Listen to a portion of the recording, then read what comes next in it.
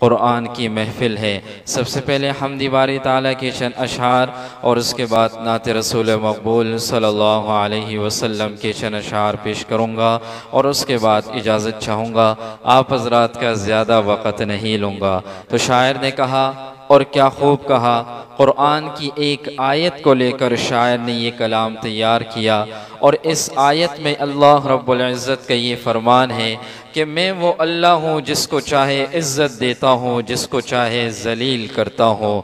وہ تو عز منتشا و تو ذل و منتشا اس دنیا کے اندر رہ کر کوئی انسان کسی کو عزت نہیں دے سکتا، کوئی کسی کو ذلیل نہیں کر سکتا۔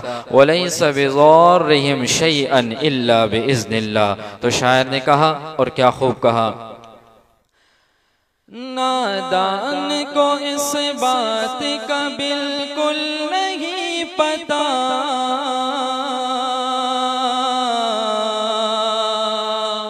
وتعز من تشاء، وتذل من تشاء، وتعز من تشاء، وتذل من تشاء۔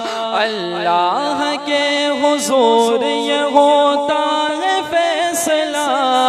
وتعز من تشاء وتذل من تشاء وتعز من تشاء وتذل من تشاء. نادان کو اس بات کا بالکل نہیں پتا، وتعز من تشاء، وتذل من تشاء۔ اللہ کے حضور یہ ہوتا ہے فیصلہ، وتعز من تشاء، وتذل من تشاء۔ جھوٹی نوازشات کی بارش فضول ہے۔ مجھ کو ذلیل کرنے کی سازش فضول ہے۔ جھوٹی نوازشات کی بارش فضول ہے۔ مجھ کو ذلیل کرنے کی سازش فضول ہے۔ مجھ کو ذلیل کرنے کی سازش فضول ہے۔ میرا قدم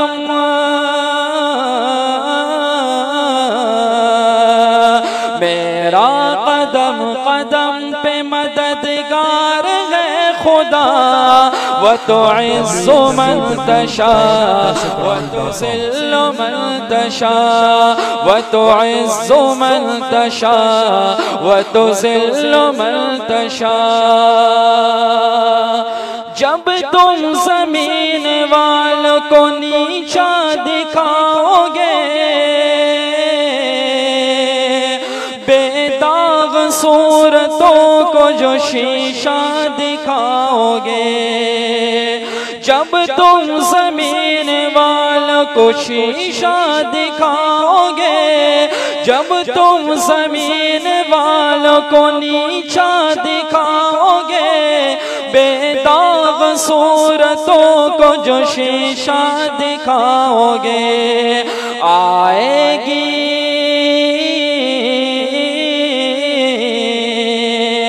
آئے گی آسمان سے اس وقت یہ صدا وتعز من تشاء وتذل من تشاء وتعز من تشاء وتذل من تشاء اللہ کے حضور یہ ہوتا ہے فیصلہ وتعز من تشاء وتذل من تشاء وتعز من تشاء وتذل من تشاء وتعز من تشاء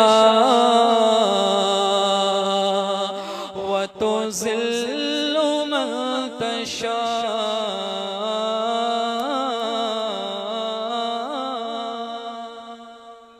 www.thesukuran.com.